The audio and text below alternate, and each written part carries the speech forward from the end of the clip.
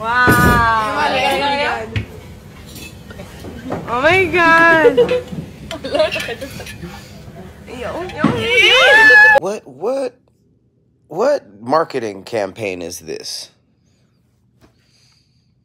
How bad were ice cream sales? You made First of all, I, I don't know how the, the toilet bowl thing works. Do you are you washing it and giving it to different people like a plate?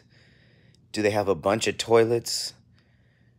How bad were ice cream sales? Where you were like, you know what would bring people in? Making them eat chocolate ice cream out of a toilet bowl. Boo boo ice cream. Let's get the demograph of people who kind of want to eat boo boo out of their toilet, but one they also have a sweet tooth, you know? That's y'all demo? You weirdos. You like you I don't know who's weirder, the people who are serving it or the people who are eating it.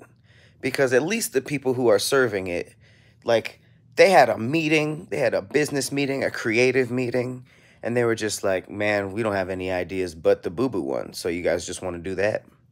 And then people actually came through. I'm disgusted. Chocolate ice cream is perfectly fine in a regular bowl. I never was just like, you know what would make this better? Being disgusting. Eating out of a toilet. Never had the urge. I'm just I'm just horrified. This is the type of restaurant that gets popular and then a new manager comes in and it's just like, um, there's people here, but I'm kind of I want to go for a different vibe. I want to go for a different crowd. Yeah, because you filled your place up with sewer rats, with ninja turtles, raccoons. Y'all eating boo boo out the toilet?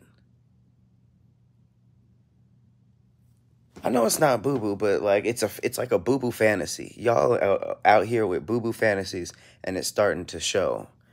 I don't I don't want to be friends with anybody who chooses to eat here. Can you imagine being invited here?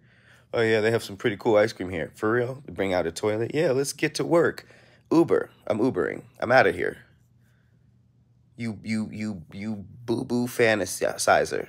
You are a boo boo fantasizer, and I want nothing to do with you. Crazy.